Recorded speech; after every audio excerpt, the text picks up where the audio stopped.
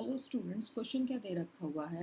Rational number lying between seven and eight अब इस type के क्वेश्चंस को हम कैसे करते हैं? ऑप्शन से करते हैं।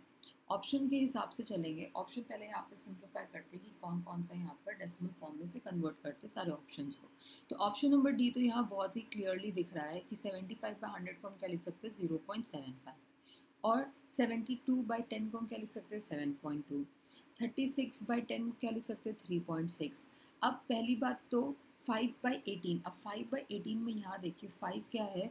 न्यूमरेटर आपका फाइव है और डिनोमिनेटर आपका क्या है? एटीन अगर न्यूमरेटर डिनोमिनेटर से छोटा होता है, बेटा न्यूमरेटर अगर numerator is smaller than denominator होता है तो ये नंबर कैसा होगा बेटा? ये number will be always will be will be always less than one होगा।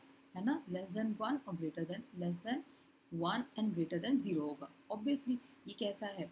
ठीक है? तो फाइव बाई एटीन को डिवाइड करोगे तो कुछ ज़ीरो पॉइंट समथिंग समथिंग आएगा राइट तो हमें इससे कोई फ़र्क नहीं पड़ता। हमें बताना सेवन और एट के बीच में। सेवन और एट के बीच में आपका कौन सा नंबर आ रहा है? सेवन और एट के बीच में आपका सिर्फ़ ऑप्शन नंबर बी ही possible option number D cancel क्योंकि ज़ीरो पॉइंट सेवन फाइव है। फिर से सेवेंटी फाइव बाई हंड्रेड लिखा है तो numerator is lesser than denominator तो इसकी वैल्यू वन से स्मॉलर हो जाएगी। ए ऑप्शन थर्टी सिक्स दे रखा thirty six by ten which is equal to three point six ये भी तुम्हारा सेवन और एट के बीच में नहीं आ सकता तो ऑप्शन नंबर ए एलिमिनेटेड इसी तरह से ऑप्शन नंबर सी एलिमिनेट हो गया। तो ऑप्शन नंबर बी क्या हो गया? आपका करेक्ट हो गया। होपफुली आपको ये चीज़ समझ में आई होगी।